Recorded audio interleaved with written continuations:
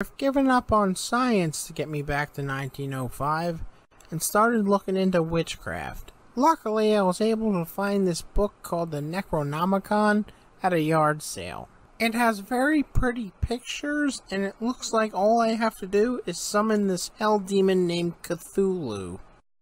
Okay, so the first thing I need to do is collect all the souls in the area, uh, which shouldn't be that hard with a few tweaks to my Tesla coil. It'll be like the storage unit in Ghostbusters. Except for the proton packs, that part's nonsense. Okay, tweaks are made. Uh, luckily, I was already set up for turning humans into energy. Uh, I'm just gonna flip this switch and watch the souls pour in.